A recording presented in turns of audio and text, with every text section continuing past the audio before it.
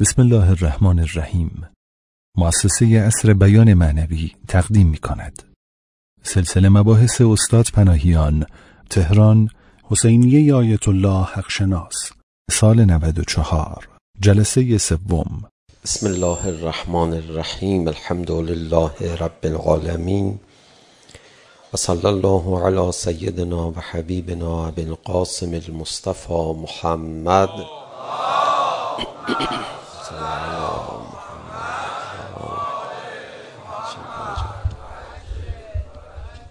و آله الطیبین الطاهرین المعصومین سیم الحجه بقیت الله الاعظم روحی و ارواح العالمین له الفدا و اللعن الدائم على اعدائهم اجمعین الى قیام یوم الدین. رب اشرح لی صدری و اسر لی امری. واحلل عقدة من لسانی یفقه قولی. انسان آگاهی هایی که از محیط دریافت می‌کنه این آگاهی ها رو دست نخورده باقی نمی‌گذاره بلکه اونها رو پردازش می‌کنه رنگ می‌کنه. اوصافی رو برای این آگاهی ها مترتب می‌کنه. از علاقه های خودش انگار چیزهایی رو بر میداره با اون آگاهی ها ترکیب می‌کنه. اینجاست که مفهومی به نام ذهنیت یا اگر ثبات بیشتری پیدا بکنه نگرش پیدا میشه. انسان آگاهی ها یا پدیده های عالم رو وقتی نگاه می‌کنه زاویه دیدش رو به اون پدیده ها خودش تعیین می‌کنه. یک واقعیت همه می‌بینن. یکی از چه زاویه‌ای دیگری از چه زاویه دیگری. ما عیبی رو در کسی ببینیم خیلی بیرحمانه درباره عیب او قضاوت می‌کنیم و شخصیت او رو خلاصه می‌کنیم درباره در اون عیبی که ازش دیدیم. ولی مادر اون فرد وقتی بهش نگاه بکنه همون عیبم تو بچهه می‌بینه. ولی چون مادره همیشه این عیب رو تحت اون خوبی که او دارد و حتی احتمالا دارد قرار می‌دهد. نیمه پر لیوان رو نگاه می‌کنه. ما نیمه خالی لیوان رو نگاه می‌کنیم. چون ما تعلقی به او نداریم. پس صرف آگاهی برای انسان نجات بخش نیست. صرف آگاهی دستگیری نمی‌کنه انسان رو در گرفتاری ها صرف آگاهی انسانی رو به زلالت و گمراهی نمیکشونه. بلکه زاویه دید ما به اون آگاهی زاویه نگاه ما خیلی اهمیت داره. بلکه اون وصفی که ما روی اون آگاهی قرار میدیم اون حسی که نسبت به آگاهی پیدا می‌کنیم از معلومات دیگه از علاقه هامون استفاده می‌کنیم اینا خیلی اهمیت داره. آگاهی در قرآن کریم خیلی کم اهمیت داره. نسبت به اون چیزی که تو جامعه ما امروز رایجه. ما جامعهمون یک مقدار علم زده است. یعنی فکر می‌کنیم واقعا دانایی همه مشکلات رو حل می‌کنه. امیر المومنین علی علیه السلام در نامه سی و یکم نهج البلاغه میفرماید به جوان خودشون میفرماید اگر تو قلبت صفا داره حرفای منو گوش بده. و الا فایده ای نداره حرف منو گوش بدی. بعد میفرماد جز این که گرفتاری خودتو بیشتر کنی فایده دیگه ای نداره. جز این که گرفتاری خودتو بیشتر بکنی فایده دیگری نخواهد داشت. می‌دونید دیگه طبیعتا آگاهی استدلال دلایل بسیار منطقی برای اثبات یک حقیقت. بدتر موجب میشه کفر بعضی ها بیشتر بشه. لا یزیدهم الا خسارا. قبل از اینکه این حرف منطقی رو بشنوه آدم بهتری بود. حالا عجب آدم لجنی شد. ما حرف حقیقت بهش زدیم حق بهش گفتیم. که بره رفتارش رو اصلاح کنه بره نگاهش رو اصلاح بکنه. حالا رفتارش نه تنها اصلاح نکرد نگاهش نه تنها اصلاح نکرد بلکه اتفاقی که براش افتاده اینه که رفته چون از این حقیقت بدش می اومد کلی دلیل تراشیده تو ذهن خودش علیه این حقیقت. قبلا یه آدم ساده سطحی نادان بود. حالا دویست تا دلیلم رفته درست کرده علیه حق. یه مکتب و مرام هم را میندازه حالا. برای دفاع از موضع منفی خودش نسبت به اون حق هیچی میره یه مکتب انرافی هم درست می‌کنه. حالا کلی آدم هم گمراه می‌کنه. بعد نیست پاش وایساده که مخالفت بکنه. آدم لجباز مگه به این سادگی دست بر میداره میگه نه تو سب کن. بذار ببین من چرا اینو گفتم؟ ابلیس گفت من در روایتی وقتی از او سوال شد که کی بر انسان تسلط پیدا می‌کنی گفت وقتی که اولین گناه رو بکنه. گفتن چرا؟ گفت برای اینکه دفاع می‌کنن خودش. دفاع که کرد قدم بعدیه که به جمت جهنم رفته. عصبانی شده اشتباه کرده. فوش داده اشتباه کرده. بهش میگی چرا عصبانی میشی؟ میگه آخه نمی‌بینی این لامصب دین نداره. دومی. در مقام دفاع از عصبانیت خودش اینو بیدین کرد. حالا ایشون دین نداره. شما ببخشید. اینجا جای بخشش نیست. یه چرت و پرت دیگه گفت. حالا شما بزرگوارید. شما خواهش می‌کنم. نه آخه قدر منو نمی‌دونن.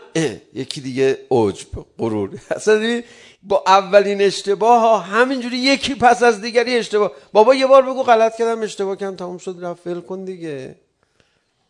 شیطان روانشناس درجه یکیه. میگه من به یه اشتباه وارد وادارش بکنم تمومه. بقیهش دیگه با تسلط پیدا کردم. اون وقت خدا چی میفرمد میفرماد بنده من من تا هفت ساعت برات نمی نویسم توبه کن. یه تشویق بزرگ این ور گذاشته. اگه تو بتونی تو این هفت ساعت بگی من اشتباه کردم غلط کردم اگه تو بتونی اینو بگی مردی به خدا. نه تو این هفت ساعت که نمی‌تونم. بعدم میگم خدایا بله من اشتباه کردم. اونم خدا میفرد یه فایده نداره. تو لجبازیاتو کردی. خرابکاریاتو کردی با لجبازی تثبیت کردی این بدی رو. رفقا می‌خوام عرض بکنم ائمه هدا هم همینجوری رفتار می‌کردن ها. بعضی وقتا حرف حق به بعضی ها نزنید. بعضی وقتا. امام باقر علیه السلام میفرماد خدا رحمت کنه کسی رو که حرفهای ما رو از کسانی که ظرفیتشو ندارن پنهان می‌کنه. بابا چی می‌خوای بگی؟ کافر میشه ولش کن تو رو خدا. حالا یه ایمان نیمبندی داره حالا همه شده می‌خواد بهش بگی. بعضی وقتاها نه همیشه بعضی, بعضی وقتا هم باید گفت کفرش هم در بیاد هرچه باد و باد. پیامبر گرامی اسلام ایستاد فرمود همه درهای خونتون رو ببندید. درهای خونه هاشون باز بود به مسجد دیگه. بله در جهان هستن دوستان دیگه. اون ماجرایی که همه خونه رو ساختن در رو همه در رو ببندید. غیر از در خانه علی ابن ابی طالب. نوشته رسول خدا دید همه با یه غیظ و غضب و حسدی دارن به آقا رسول خدا و علی ابن ابی طالب نگاه می‌کنن. دیگه اینجا دستور خداست. بزن کفرشون در بیاد. هر چه باد آباد. اینجوری که نگاه کردن رسول خدا فرمود هر کی هم دلش نمی‌خواد بلنشه بره؟ به سمت شام و نشان داد. بعضی وقتا اینجوریه. ولی بعضی وقتا حق و نگو. بابا این این ظرفیت این کفرش در میاد مثلا بدتر میشه ها بعضی وقتا وقتی که یک حسی باهاش مجادله کنی خصوصا حرف حق رو بزنی بگی قبول کردی؟ میگه نه قبول نکردم. چرا قبول نکردی؟ بابا نگو بهش. الان تو گفتی چرا قبول نکردی؟ این شروع می‌کنه فکر کردن. دلیل برات میتراشه. وقتی دلیل برات تراشه دیگه خودش ول می‌کنه که. فکر می‌کنه واقعا راست گفت.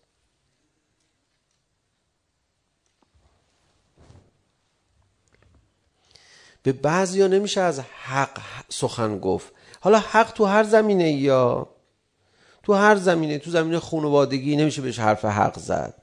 تو زمینه تربیت فرزند تو زمینه اقتصادی تو زمینه مثلا میگه آقا این سیستم اقتصادی که هست مثلا غلط اون کی سیستم؟ اونم طرفداری می‌کنه از اون سیستم.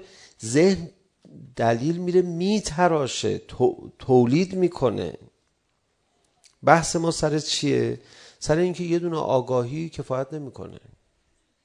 خدا خودش تو قرآن میفرماد میفرماد این آیات من بعضیا رو لا یزیدهم الا خسارا. قرآن کلام خداست نورانی منطقی جذاب.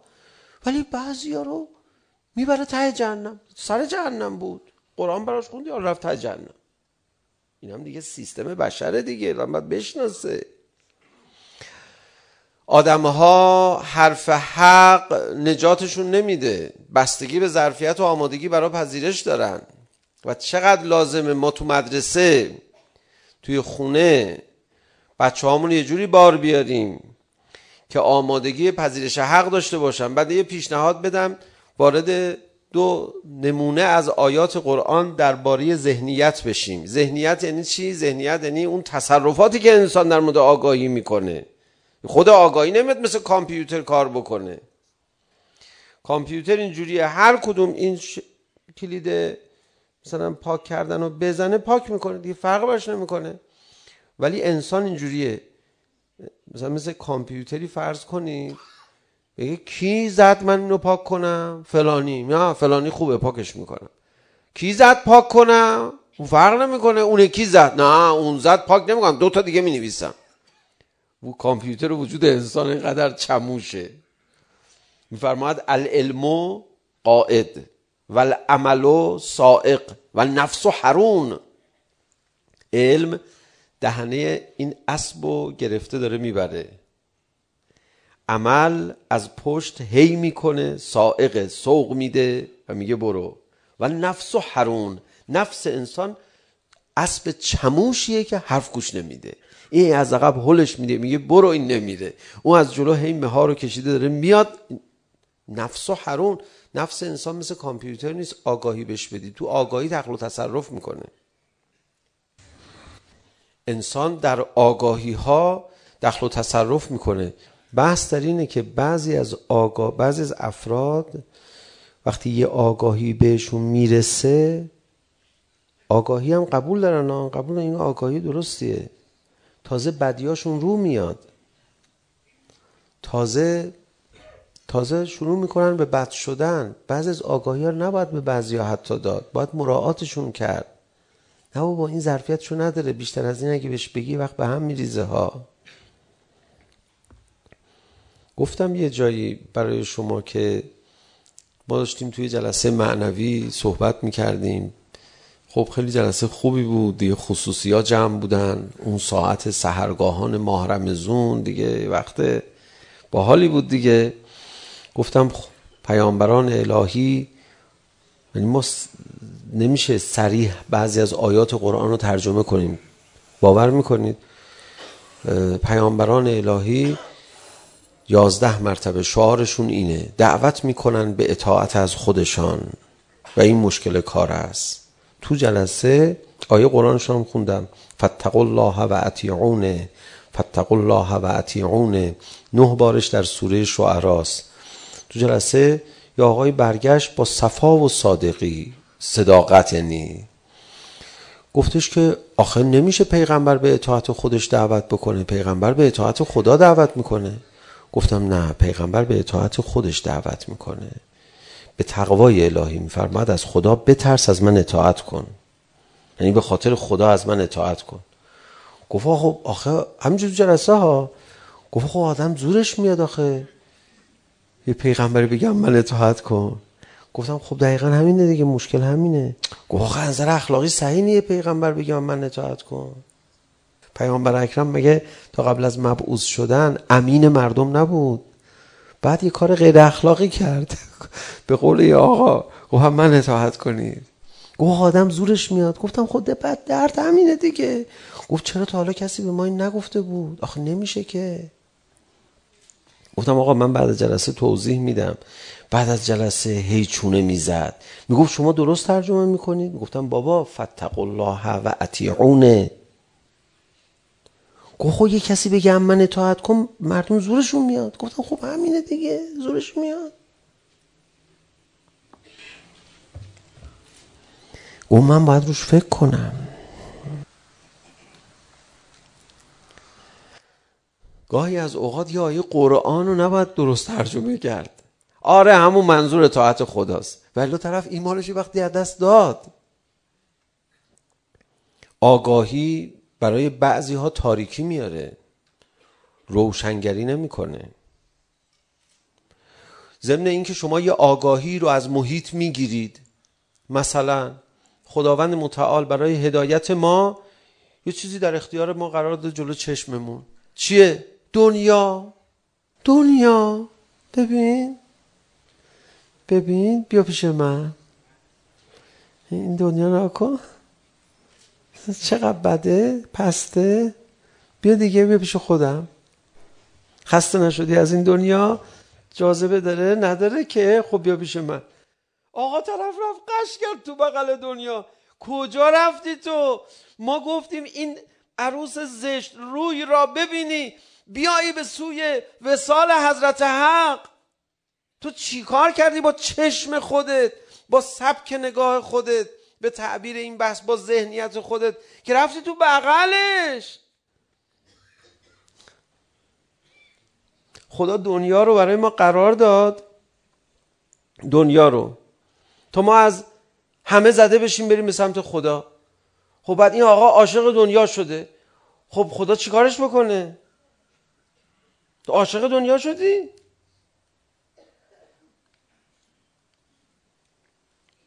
این دنیاست داری تحملش می‌کنی؟ چجوری آش... تحملش باید بکنید عاشقش شدی؟ آگاهی می‌بینید نجات نمیده. ما آگاهی ها رو درش دخل و تصرف می‌کنیم. ما نسبت به آگاهی ها موضع داریم. ما بعضی از آگاهی ها رو چون خوشمون نمیاد علیهش دلیل درست می‌کنیم. ما بعضی از آگاهی ها رو چون خوشمون میاد چند تا می‌ذاریم روش. ما اصلا آگاهی غلط تولید می‌کنیم. انسان در ارتباط با آگاهی بی تفاوت نیست. میاد در ذهن خودش رو اون آگاهی ها کار می‌کنه. یک سری از آیات قرآن رو در این باره بگم. ذهنیت یعنی چی؟ یعنی اون پردازشی که شما کردی نسبت به رفتارها. تو خانواده. اینو مثال رو می‌خواستم بگم. تو خانواده توی مدرسه توی زندگی تعلیم و تربیتی برای اطرافیانمون که داریم اگه یه جایی مجموعه ای داریم خواهش می‌کنم. دیگه اینم دیگه ما خواهش می‌کنیم چون نمی‌تونیم توضیح بدیم. البته شما خودتون الحمدلله اوستایید. پدر مادرها گاهی علکی اشتباه کنن بعد بچه هاشون میگن آره ها اشتباه کردم. اشتباه کردم. بدون شنید؟ آره من عجب اشتباهی کردم. یه دو مرتبه ذکر به خدا بگو ثواب داره. این بچه تو اشتباه کردم یاد بگیره. من اشتباه کردم در برداشت. من اشتباه بگه مامان بگه با... مامان به بابا بگه بابا به مامان بگه دو نفرن دیگه می‌تونن نمایش اجرا کنن. شما راستی این کار رو انجام دادی؟ انقدر سرم شلوغ بود کار مگه برای من می‌ذاری انجام بدم؟ دو قرط و بابا حالا بگو من انجام ندادم دیگه. خب به جای این همه بگو که آره اشتباه کردم. دقت نکردم فراموش شد. نه اشتباه نکردم یادم رفت. بابا خب بگو دیگه یه دونه اشتباه کردم. کاری نداره که جونم مرگ نمیشه که آدم. روایات برای انتقاد پذیری. توبه چرا اینقدر مهمه؟ نامردی هم نکنیم ما. والله لا ینجو من الذنب الا من اقربه. به خدا قسم نجات پیدا نمی‌کنه از گناه مگر کسی که اقرار کنه. خدا کلا منو ببخش. خیلی اشتباهات دارم. به چی بگو؟ بگو چی اشتباهات چیه فکر می‌کنی؟ کلا دیگه خدا اشتباه کردیم دیگه. حالا ببخش دیگه. کلا. نه نمیشه. بگی چی داری. اینقدر باد داره تو دماغش. حاضر نیست بگه چی. خب کلا اشتباه که کردیم. بله ما بی اشتباه که نه باید بگی. و دیگه من اونجا این حرفی که علیه اون آدم زدم خدا در اثر حسادت بود. اینو ببخش. حالا شد این یه دونش. دیگه چی؟ اونجا نمازم و تأخیر کردم گفتم کار دارم خدا بهونه بود. ایراد داشت. ایراد من ایراد من تنبلی کردم. ها اینم بخشیدم. باش. به خدا انقدر خدا خوبه همه رو میبخشه. میگه فقط تو یه بار بگو. یه بار بگو.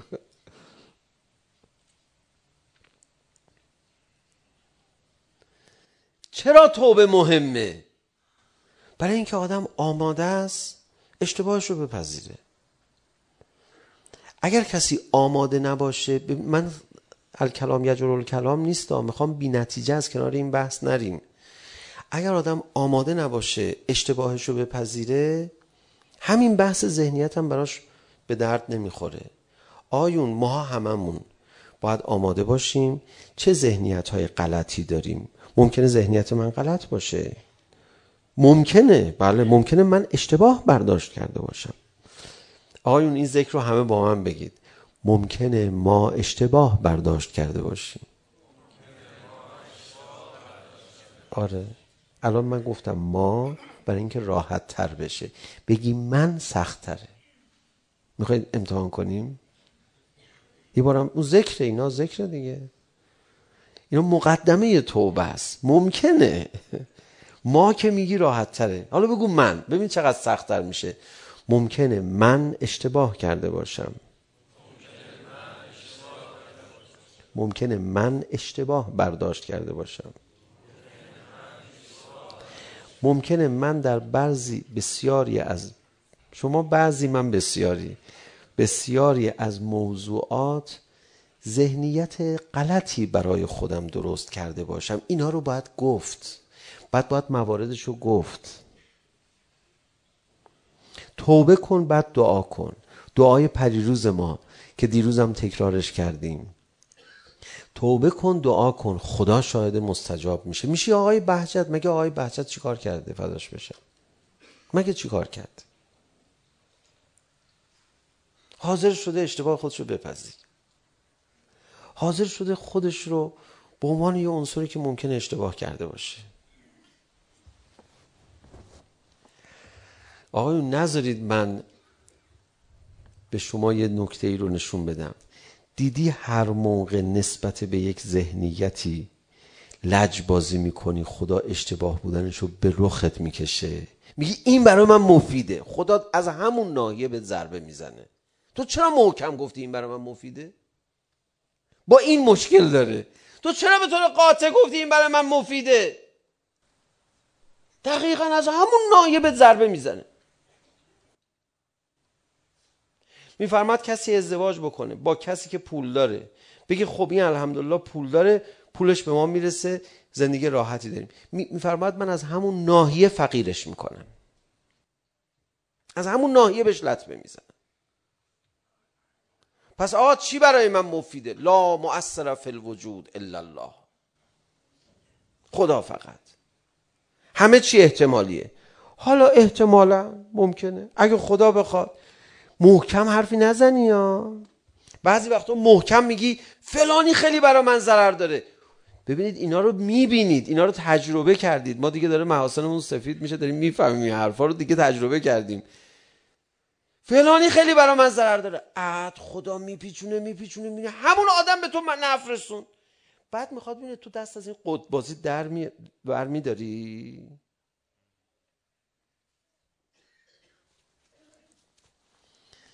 انسان آگاهی درست می‌کنه برای خودش. درست یا غلط؟ انسان آگاهی هایی که بهش می‌رسه رنگ می‌کنه. درست یا غلط؟ انسان آگاهی بهش می‌رسه آگاهی ها رو درش تخل تصرف می‌کنه. انسان آگاهی های خودش رو بدون تغییر هیچ وقت باقی نمی‌گذاره. نسبت به آگاهی هاش علاقه پیدا می‌کنه. نسبت به آگاهی هاش تنفر پیدا می‌کنه. علاقه به آگاهی موجب تکثیر اون میشه. موجب تثبیت اون میشه. موجب تقویت اون میشه. انسان به آگاهیهاش از زوایای مختلف نگاه می‌کنه از زاویه مثبت یا از زاویه منفی. هر چیزی یه ضررهایی داره یه منفعتهایی داره. یه انسانی که تصمیم می‌گیره ضرراشو بیشتر نگاه کنه یا منافعش رو بیشتر نگاه کنه. و وقتی که قدرت انسان در تنظیم آگاهیش یعنی تنظیم ذهنیت از دست رفت این انسان دیگه بدبخت شده. سرمون رو می‌ذاریم رو سجده کلمون رو بدیم به خدا. خدایا این کله ما رو درست کن برداریم بریم. این کله ما رو درست کن بردار بریم. این حرف روز اول بود دیگه. یه دعا کنم. دو سری از آیات قرآن در مورد ذهنیت انسان براتون بخونم که چقدر خدا قصه داره برای ذهنیت های اشتباه آدم ها دعا این بود. همه آمین بگیم. اللهم ارنا الاشیاء کما فارسیش هم بگم.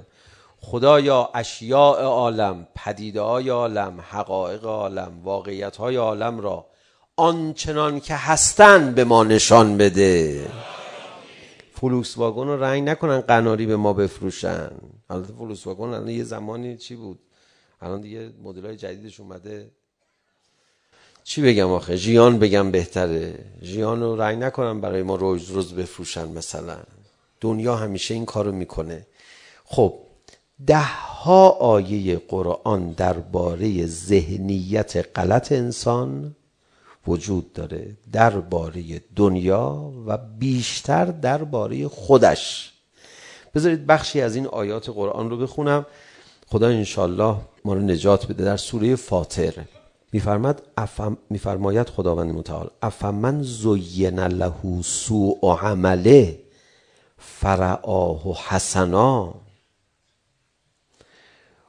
آیا اون کسی که عمل زشت خودش رو زیبا می‌بینه؟ ذهنیتش درباره عمل زشت خودش اینه که نه این اتفاقا قشنگه. فرعاه و حسنا. چجوری آخه؟ این زشته که کار تو که زشت بود. زیبا می‌بینه. خدا این دیگه این دیگه درست میشه؟ ادامه اینجوری میفرماید. به جای اینکه بفرماید این دیگه درست میشه اینجوری میفرماد فان الله یذل من یشا خدا هر کسی رو بخواد گمراه می‌کنه. یعنی که یعنی. خدا هر کسی رو بخواد گمراه کنه. خدا از کسی بدش بیاد. یه کسی نامرد باشه. یه کسی یه گناه های نامرد ناجوان مردانه بدی انجام داده باشه. خدا بخواد گمراهش بکنه اینجوری میشه ها. دیگه عمل زشت خودش رو زشت نمی‌بینه. دیگه سرشکسته از گناه خودش نیست. جنبندی شد حرفایی که زدیم یه کمی تو اینجا. ادامه بدیم. بذارید این مزه آیات قرآن رو ببینیم. چقدر بد من حرف می‌زنم. کاش فقط میومدیم اینجا دور هم با هم قرآن میخوندیم. به خدا من خودم اینجوری بیشتر دوست دارم. فان الله یذل من یشا خدا هر کسی رو بخواد گمراه می‌کنه و یهدی من یشا خدا هر کسی رو بخواد هدایت می‌کنه. حدس می‌زنید بقیه این آیه چیه؟ یه حدسی بزنید. اگر کسی حفظ نباشه این آیه رو تقریبا محاله حدس بزنید که خدا به پیغمبرش اینجا که می‌رسه چی میفرماید. فوق العاده است. فرماد رسول من فلا تذهب نفسک علیهم حسرات. حسرتشون رو نخور. یعنی اینو تا به پیغمبر گفته پیغمبر حسرتشون می‌خوره. آخه چرا؟ چرا؟ چرا اشتباه می‌کنه؟ فرماد حسرتشو نخور. تو چرا خودتو ناراحت می‌کنی؟ ان الله علیم به ما یصنعون خدا می‌دونه اینا چی کار کردن. که به این روز رسیدن. تو قصهشون نه. نگو این بار اشتباه می‌کنه. بذار من برم اینو از اشتباه در بیارم. ببین این یه مرضی داشته. این یه جنایتی کرده. الان اینجوری شده. کار زشت خودش رو زیبا می‌بینه. من من همه حرفم سر ذهنیت سر این کلمه رعاهوه رعاهو اینجوری می‌بینه دیگه. اینجوری می‌بینه. کار زشت خودش رو زیبا می‌بینه دیگه. ذهنیتش اینجوریه دیگه. اینو مگه میشه دیگه نجاتش داد؟ وقت پیغمبر فداش بشم. خب حسرت می‌خوره. خب چرا داری اشتباه می‌کنی؟ میفرماد حسرتشو نخور. چرا حسرتشو می‌خوری؟ خب آخه داره اشتباه می‌کنه. آقا این به این سادگی که اشتباه نمی‌کنه که. می‌دونه چی کار کرده که به اینجا رسیده.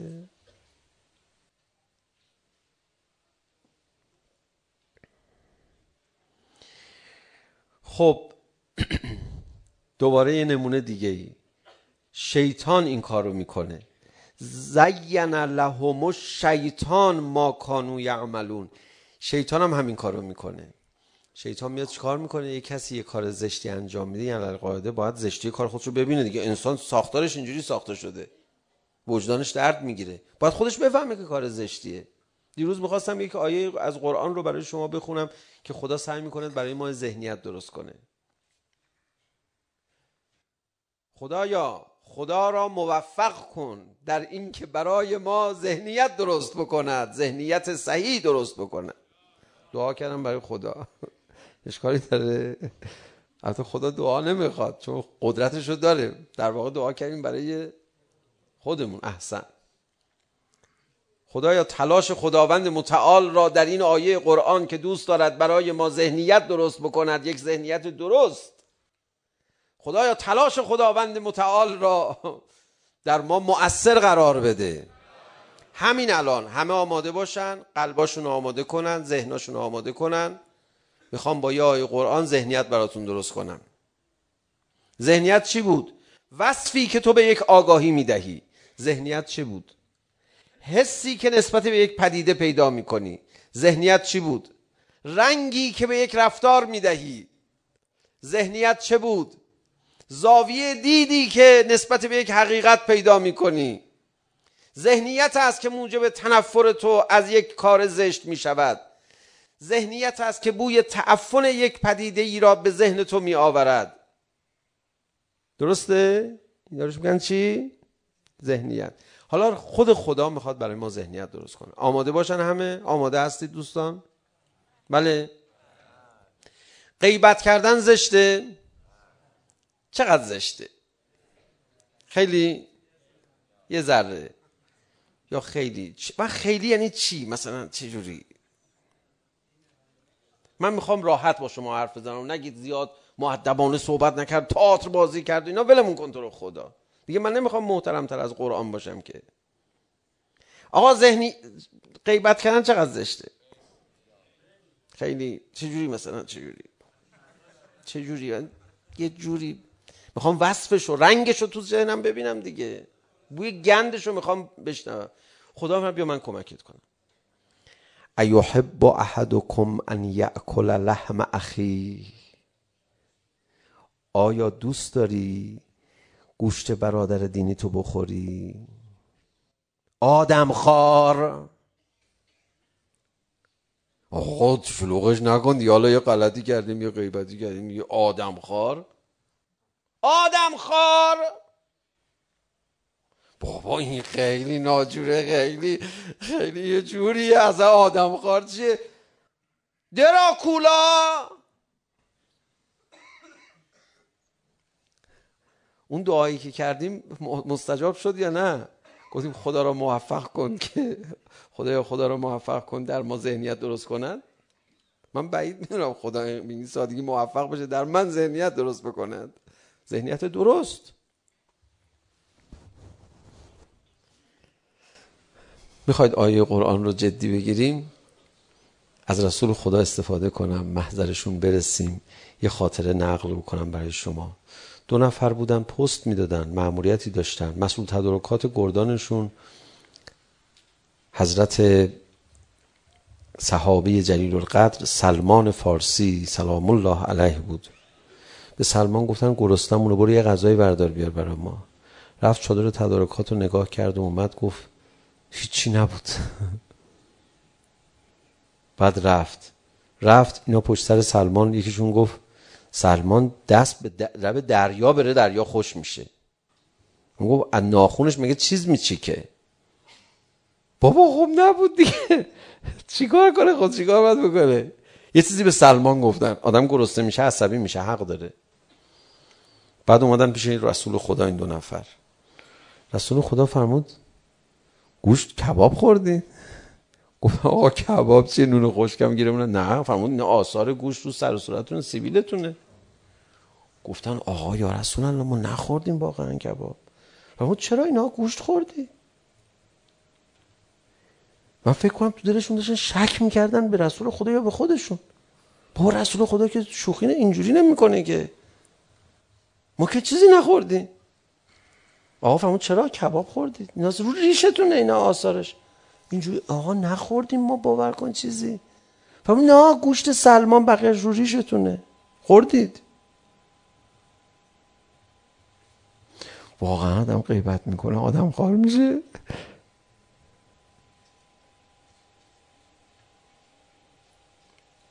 خدا میفرماد تو باید ذهنیت نسبت به غیبت اینجوری باشه.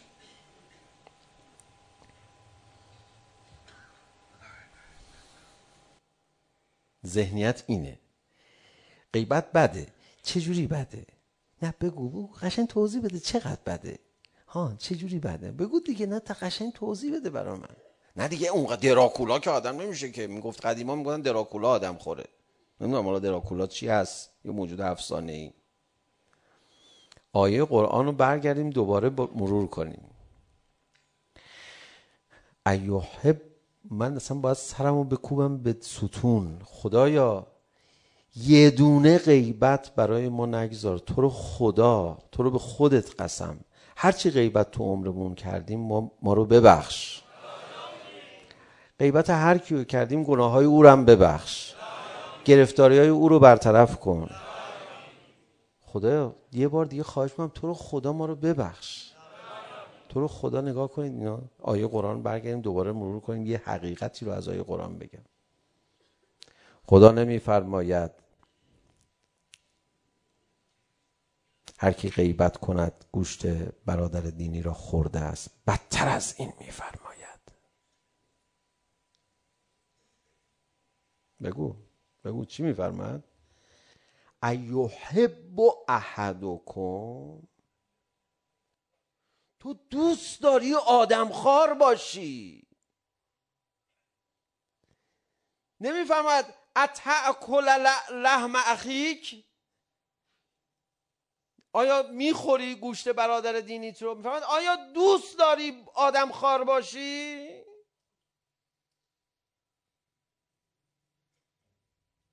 تو چه علاقه ای با آدم خوری داری؟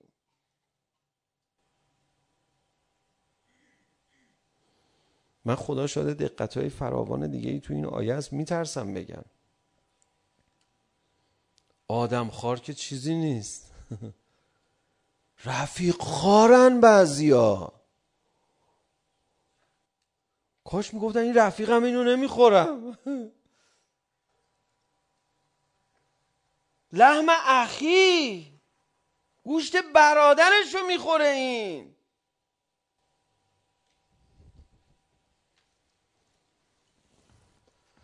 ببخشید من نمی‌دونم دیگه باید خدا چیکار باید بکنه الان؟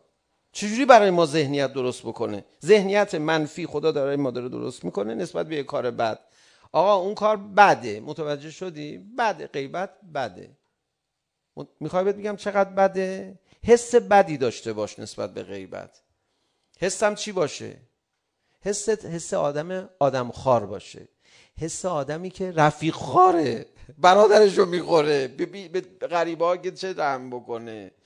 حس آدمی که دوست داره آدم ها رو بخوره. وای. خب الهی من فدای شما بشم. شما خیلی آدم های خوبی هستید. واقعا معتقدم. ما دارم اینو میگم.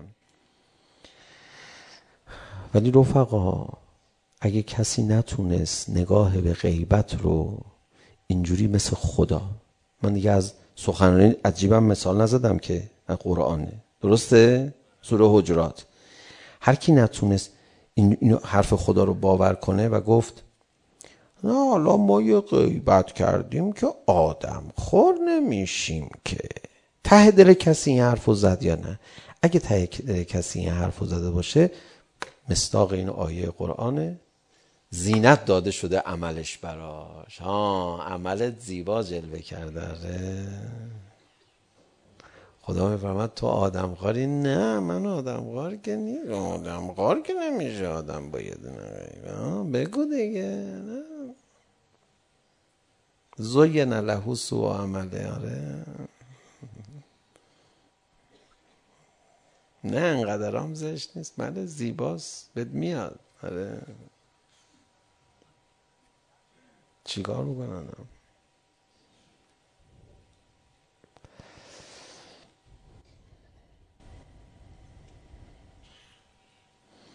زین لهم الشیطان ما کانو یعمل زینتش داده شیطان برات. قشنگه؟ و از زین لهم الشیطان اعمالهم. و قال لا غالب لكم اليوم من الناس. دیگه چقدر من براتون بخونم؟ زین لهم سوء اعمالهم والله لا یهدی القوم الکافرین. اینا مشکلشون اینه که یه ذهنیتی دارن نسبت به کارشون. کار بد خودشون رو زیبا می‌بینن. ذهنیت یعنی اون وصفی که تو برای یه عمل تلقی می‌کنی. این دیگه نمی‌تونه نجات پیدا کنه. کذالک زین للمسرفین ما کانوا یعملون. اینا ذهنیتشون خراب میشه. بل زین للذین کفروا مکرهم و صدوا عن سبیل عن السبیل. بله. چقدر دیگه براتون بخونم. شیطان میگه من ف... من, من ذهنیتاشون رو خراب می‌کنم. ببینید قال رب به ما اغفیتنی. خدایا به واسطه این که یه امتحانی هم من گرفتی من گمراه شدم لا لازینن لهم فی الارض. من هرچی تو زمینه برای اینا زیبا جلوه میدم. این فکر کنه خیلی پدیدهای قشنگیه. ذهنیت های زیادی مثبت به دنیا پیدا. ولا اغوینهم اجمعین. از این طریق در واقع میرم اینا رو گمراه می‌کنم. خدایا ذهنیت های ما رو خودت درست کن. پاش هستی؟ میگه الهیامی. و قشنگترین نغمه در عالم صوت قرآن میشه براتا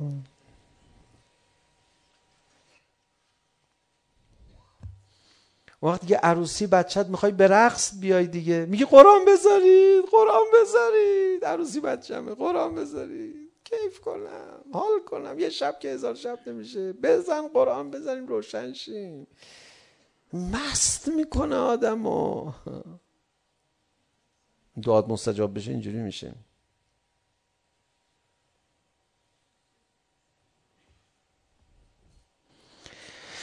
در روایات فرمودن که مؤمن یکی از اتفاقاتی که براش میفته اینه که خیلی زیارت قبر ابا عبدالله الحسین براش قشنگ میشه. میگه نمی‌دونم چقدر دوست دارم برم کربلا. در آیه قرآن داره میفرماید حبب الیکم الایمان و زینه فی قلوبکم. با من این آیه رو بخونید. من می‌خوام براتون ترجمه کنم و با روایات توضیح بدم این آیه قرآن رو. با من بخونید ضرر نمی‌کنید. حبب الیکم الایمان این هدیه ویژه پروردگاره. ایمان رو در قلب مؤمنین خدا چی قرار میده؟ محبوب قرار میده. دوستش داری. حالا غیر از دوست داشتن بهش زیبا نگاه می‌کنی. میریم تو ذهنیت. و زینه فی قلوبکم قشنگ بگید من الان می‌خوام هدیه به شما بدم. و زینه فی قلوبکم خدا ایمان را در قلب شما زیبا قرار می‌دهد. توضیح بدید به ما. یعنی چی؟ ایمان زیبا میشه. تو روایت میفرماد یعنی علی ابن ابی طالب رو در قلب مؤمنین خدا زیبا قرار می‌دهد.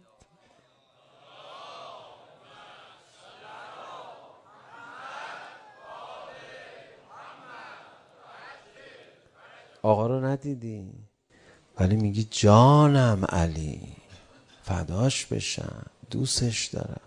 آقا رو صداشو نشنیدی؟ میمیری برا صداش. میمیری برا اسمش.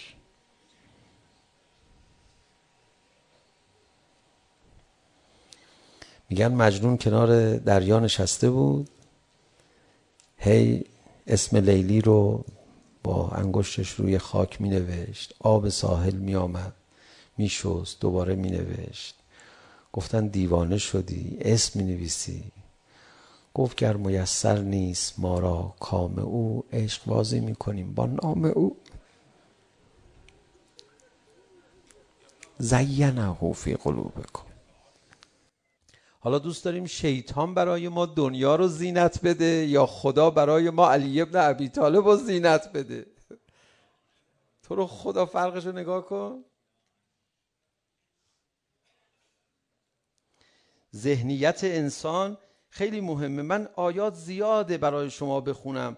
و عادن و سموده و قد تبین لکم من مساکنهم و زین لهم الشیطان اعمالهم فصدهم عن السبیل و کانو مستبصرین. میفرماد مستبصر بودن اینا. اینا می‌دیدن. اینا متوجه بودن. اینا از آگاهی چیزی کم نداشتن. می‌دانستن مسائلو. ولی یه ذهنیت غلطی شیطان به اونها داده بود. دنیا رو عمل زشتشون رو براشون زیبا قرار داده بود. در حالی که می‌دونستن اینا یه ذهنیتی پیدا کرده بودن. وای خدا نکنه. خدا خدایا در نسل و دودمان ما در نسل و دودمان ما یه نفر که ولی خدا دوست خدا یه مؤمن خوب پیشش زشت و منفور باشه قرار نده. البته امیدوارم این دعا مستجاب بشه ولی تضمینی نیست. امیر المؤمنین علی علیه السلام شما اسم آقا رو شنیدی؟ چند تا کتاب از حضرت خوندی داری میمیری براش. آقا امیر المؤمنین علی علیه السلام یه نوهی داشت. فرزند محمد ابن حنفیه. اسمش هم حسن ابن محمد حنفیه بود. در واقع شد حسن ابن محمد علی. علیه السلام. علی علیه السلام بعد اون حسنش رو علیه السلام نمی‌خوام بگم ها. جوون بود توی شهر کوفه راه می‌رفت یا مدینه می‌گفت من که نفهمیدم بالاخره حق با علی بود یا با معاویه. موقع چیکارش کنی؟ میگم بیا از خودشون از خودشونه.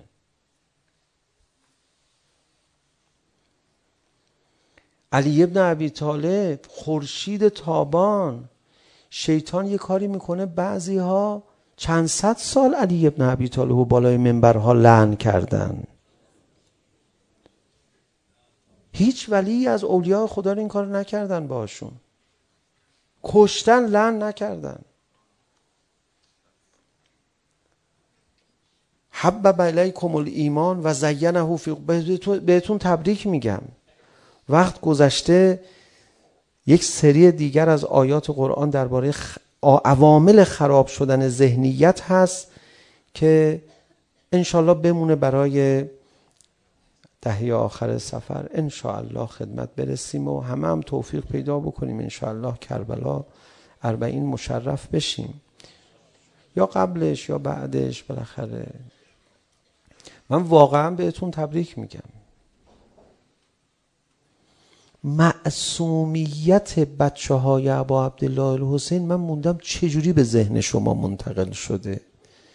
که طاقت نداری بشنوی بچه های حسین و سیلی زدن. اون معصومیتی که به ذهن تو منتقل شده پس خدا با ذهن تو کار کرده نگاه کن.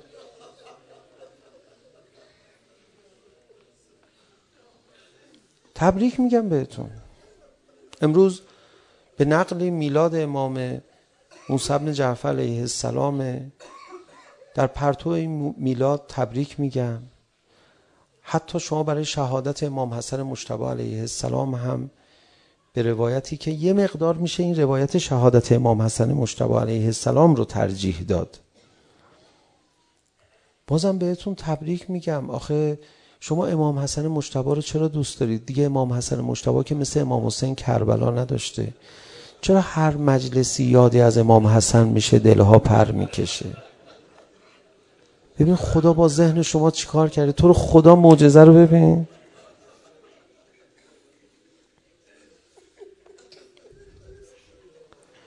میگی من ذهنیت مثبتی دارم به امام حسن.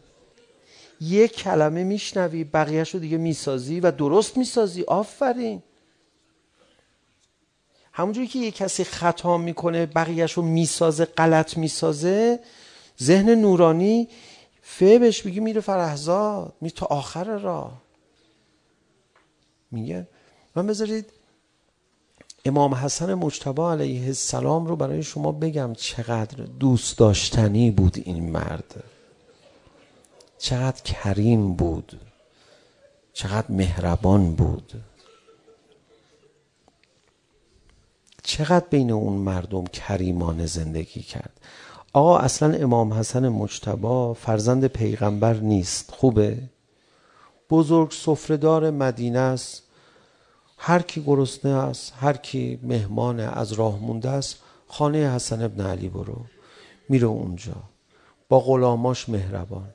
آقا ایشون از دنیا رفتن شهید نشدن درسته؟ بر فرض.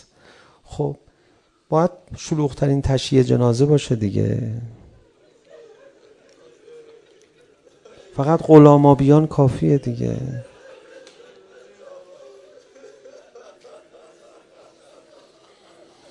امام حسن همون دردانه رسول خداست. که وقتی اومد خودش رو سینه پیغمبر انداخت لحظه جان دادن همراه ابا عبدالله الحسین امیر المومنین خاص امام حسن مشتبا رو برداره و امام حسین رو صدا زد اینا رو بذار باشن علی جانم بذار باشن رو سینم من جان بدم امیر المومنین عرضه داشت یا رسول الله خودتون فرمودید محتضر سر سینش سبک باشه راحت می‌خواد نفس بکشه. فرمود اینا راحت دل منم و وقتی حسن هم سرش رو سینم قرار بده راحت ترم بذار باشه. خدای تو چه معجزه ای کردیم نگاه کن اصلا اینا این مردم انگار یکی از غلامای امام حسن بودن و اربابشون به شهادت رسیدن. من واقعا به شما تبریک میگم. چه ذهن قشنگی خدا برات درست کرده. هوا تو داره.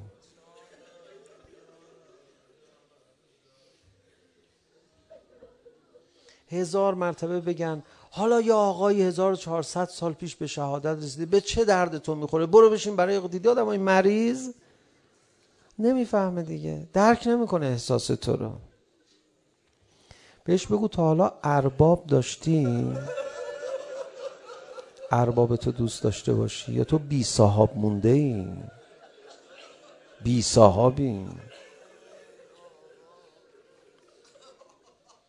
واقعا تشکر کنید زیارت آشورا خوندید الان سجده کردید دیگه. اللهم لک الحمد و حمد الشاکرین لک الا مصاب ممنونتم ما رو مصیبت زده قرار دادیم آفرین. هم به شما باید مرحبا گفت به هر کسی محبت امام حسن مجتبا رو نمیدن. به هر کسی گریه برای امام حسن مجتبا رو نمیدن. امام حسن خصوصی تر از امام حسینه. اربعین میشه مزد می‌خوای از امام حسین بگیری؟ من اخلاق امام حسین رو بهت نشون بدم. گدایه رفت در خونه امام حسین. آقا به من کمک کن. فرمود در خونه داداشم امام حسن رفتی؟ گفت نه آقا هنوز نرفتم. فرمود برو اول. من پیش قدم نمیشم. برو اول در خونه امام حسن داداشم. رفت آقا 20 دینار بهش داد. بعد اومد در خونه امام حسین. گفت آقا من رفتم. آقا بهم تصدق صدقه دادن. فرمود داداشم چقدر بد داد؟ 20 دینار. آقا رفت خانه آمد. 19 دینار بهش داد. گفت آقا چرا کمتر دادی؟ فرمود من رو دست داداشم نمی‌زنم. اصلا امام حسین یه علاقه به امام حسن داشت. دیگه می‌دونی دیگه. اربعین می‌خوای بری مزد بگیری؟ بله. در خونه داداشم امام حسن رفتی. امروز در خونه امام حسن بگیر هر چی می‌خوای از امام حسن. کربلا رو هم از امام حسن مشتبا علیه السلام بگیر. یه صفایی داره ها. قشنگ باشه برات کربلا رفتن. خدا ذهنیت ما رو نسبت به کربلا رفتن قشنگ کن. بعد برو اربعین. کربلا بگو یا ابا عبدالله چهل روزه دارم مرات عزاداری می‌کنم. از نجف حرکت می‌کنی می‌فهمی تحویلت گرفتن. امام حسین نمی‌ذاره برسی. کربلا. عباسم اکبرم زائر اومده. کجاست؟ از نجف حرکت کرد. از اول راه می‌بینی الهی فدای اون زائری که اربعین اومد کربلا. اما شرمنده داداشش حسین سرشو بالا لبی کرد حسینم از سالت حرف نزل بابا. حسینم من خودم و سپر قرار دادم حسینم. علا لعنت الله.